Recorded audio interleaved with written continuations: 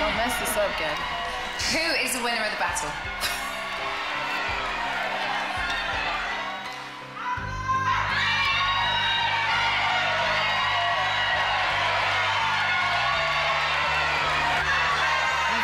The winner of this battle is truly.